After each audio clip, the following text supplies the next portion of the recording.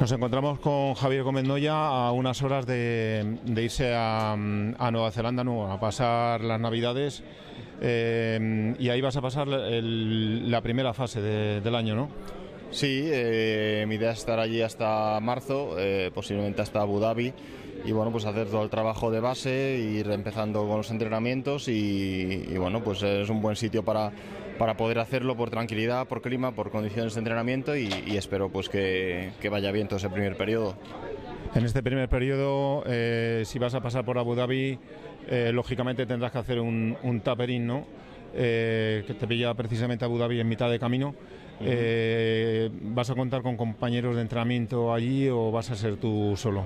Sí, allí tengo gente con la que puedo entrenar, ¿no? Tengo algún nadador, tengo bueno, gente que, que, va bien en bici, tengo algunos triatletas también, Ryan Seasons pues me, junto bastante con él y, y otra gente y, y, hay otros trabajos que los hago solo, ¿no? también me gusta entrenar solo de vez en cuando y, y, bueno, creo que tengo, como te decía, buenas condiciones en general, ¿no? Tanto por infraestructura, por, por lugar y, y por compañeros de entrenamiento si los necesito. Y eh, has anunciado un calendario provisional ¿no? a la prensa gallega. Eh, la primera carrera eh, sería Helong, el, 70.3. De hacerla sería la primera incursión y única que, vas a adaptar entrenamientos a, media distancia, ¿no? Sí, de hacerlo sería la única prueba de media distancia, posiblemente antes de los Juegos Olímpicos. Tampoco lo tengo claro, lo tengo claro es que sí utilizaré algunas pruebas de las series mundiales como preparación, pero lo importante es que los entrenamientos, el día a día, pues la preparación vaya bien hacia los Juegos Olímpicos. ¿no? El resto de carreras que haga será porque creo que los necesito, porque creo que me pueden aportar algo positivo, pero no tengo ningún calendario cerrado más allá de, ir haciendo algunas pruebas de las series mundiales. Bueno, luego ya en marzo vienes a España y ya te juntas con, bueno, con el grupo de, de Carlos Prieto. Eh, ahí vas a contar con, compañeros de entrenamiento, se supone Chente, a lo mejor Ilia, el ruso. Sí, sí, sí, pues estaremos aquí con, pues con el grupo de Carlos. Eh, eh, hay un buen grupo, intentaremos pues, hacer algunas cosas con ellos y, espero pues también entrenar sobre todo con Chente, que, que es un fuera de serie y cuando está en forma y, bueno, pues siempre es un lujo entrenar con él y bueno, pues tengo algún atleta también, Víctor Riobó, que, que, bueno, pues me ayuda muchísimo en los entrenamientos de carrera a pie, aunque a veces está un poco más en la sombra, pero es una persona importante para mí y, bueno, y lo importante al final es no tener lesiones ni percances y poder trabajar con continuidad. Bueno, has vivido este año una temporada de vuelta a la distancia olímpica. ¿Qué es lo que has visto? ¿Qué es lo que te ha sorprendido?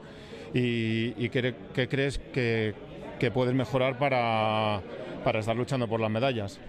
Bueno, yo he visto pues que hay mucha gente con opciones de ganar, ¿no? Eh, quizás eh, lo más destacable del año pasado ha sido la, el, cambio en los cambios en el podio que habían casi en cada competición y, bueno, yo me he sentido competitivo, en algunas pruebas he ido un poco mejor, otras un poco peor.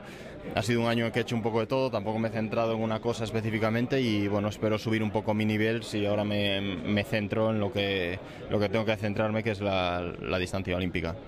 Y ya por último, em, el último bloque que es la. se habla del calor.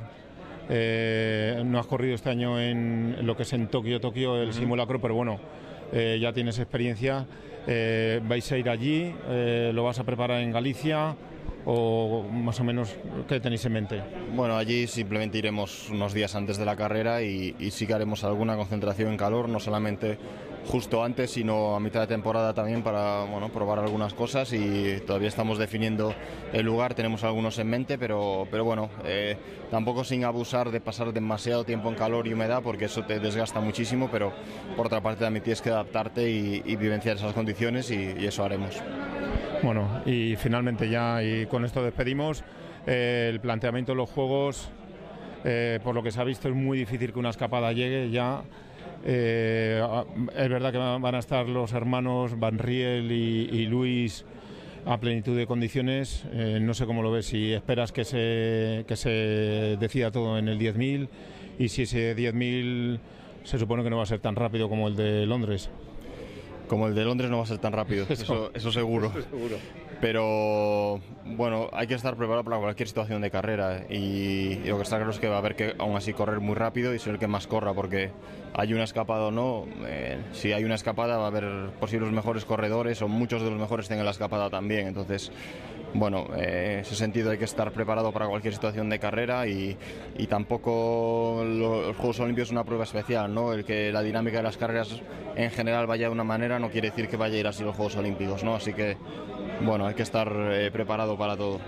Venga, muchas gracias, suerte y te veremos en marzo. Muchas gracias. Gracias.